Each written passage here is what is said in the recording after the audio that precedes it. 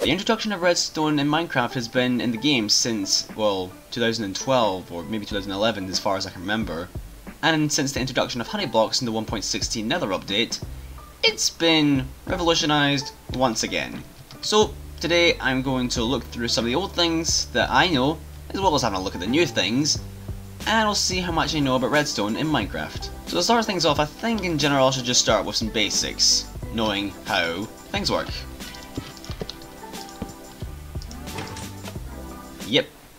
That feels about right. In general, this is just a bud power overall, with the sticky piston holding the block up. Thankfully, it shouldn't be much of a problem when I'm trying to work with some stuff. So, how about getting some more of the actual real contraptions that I should be able to remember? Building a 2x2 piston door shouldn't be too hard. I mean, it's one of the oldest contraptions you can probably think back to when it comes to playing Minecraft, so hopefully I should be able to remember how you build this. Hey! There we go. Fairly simple. I can, I'm kind of surprised I can remember how to do this. Even though this is pretty much very simple. Flush with the fl blah, blah, blah. Flush with the wall piston door. Simple, right? Right, next contraption. Building an automatic farm is fairly simple, I guess. But it is kind of difficult in some way. I can't exactly remember how you do it entirely. But overall, it shouldn't be much of a deal to build, I think. If I just do a sticky piston on the front. Yep, there we go.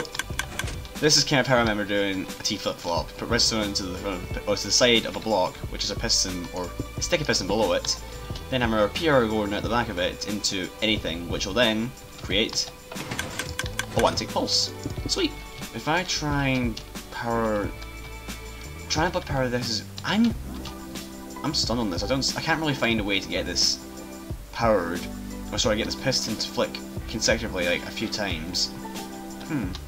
I feel like this design took a lot longer than I really should anticipate on what you know, it took a good 20, maybe 15 minutes even just to get this kind of setup done, well the old one. So I decided to just settle it and stop with the idea of going for a semi-system where it just shuts off the sunlight so you don't have to break it all the time. But thankfully I managed to get done, so if I grab some seeds and turn on the system, just need to do this and it automatically grows. Just need to hold right click and left click and yeah, I get free wheat, obviously I'm in creative, you can't really see that, so it's kind of a pain. But if I go into survival mode and I get some seeds, turn on the machine and hold right click and just press left click, you can see that I get a good bit of wheat. Right, I think it's about time we move on to the honey blocks. These guys are similar to slime blocks, except, well, I think you guys already know by now, but, well, if I just... They don't interact. They interact with one another, Oops, if I did it right. But they do not interact whatsoever with slime blocks. And the best thing is, they also pull blocks. So now we have another way to use basically duplicate slime blocks that does not move slime blocks. So I think I know what I'm going to do for the first design of, well, using slime blocks, and honey blocks of course. I think I'll be good. I think it's safe to say I've come up with something pretty fun.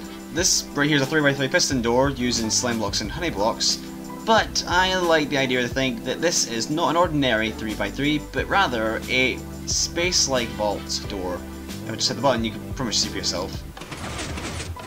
Really fast, and if I go through the other side, you can close on the other side too. Obviously, you have to do the same thing on the other side just by hitting blocks. But honestly, I quite like it. I like the idea of just having the vault door like this.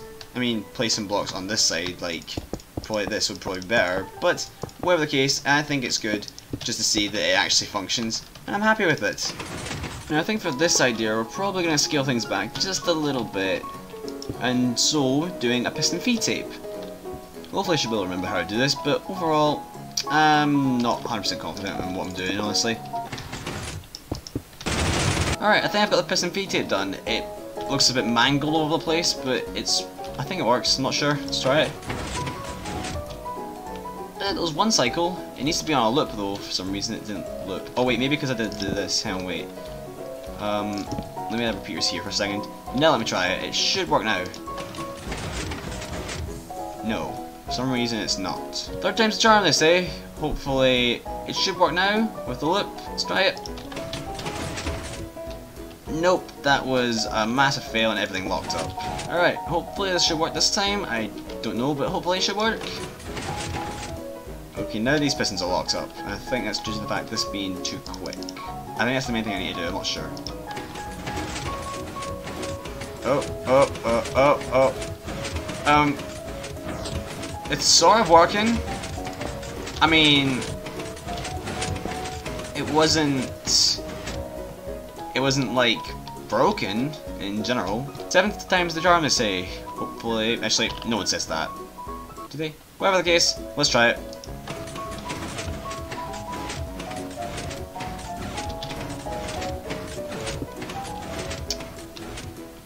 After many more minutes of working, probably another half an hour, and a lot more effort put into fixing this, I think I'm done.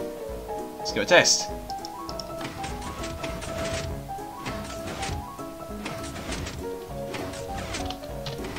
I hate my life. I want to go right now and say this for the sake of everyone on YouTube right now.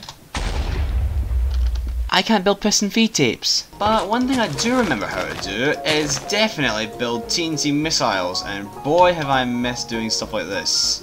As you can see, we're aiming at the wreckage of the failed piston, piston feed tape. I've also decided to put an obsidian wall right next to the contraptions because I don't want to get them destroyed. They're nice. If I just grab a flint and steel, we can get this party started. If you want to... No, never mind. I'll just use a block then. There we go. Off she goes. Hope it doesn't damage the other stuff. Eh. And there they go. Goodbye. That was very nice. Didn't destroy as much as I wanted to, but that's probably because it's stone and it's not stuff like, I don't know, wood or glass, because that's a lot weaker in terms of blasts. Well, I think I feel like I found that I'm genuinely okay at doing redstone. I feel like I'm good at building in general.